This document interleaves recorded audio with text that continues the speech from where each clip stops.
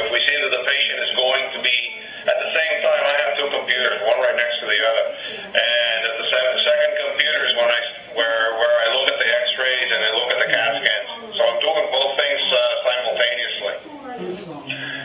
I think that it is going to be the standard of care within the next three to four years for every hospital to have something like this because there's no excuse just because you live in a little tiny town in the middle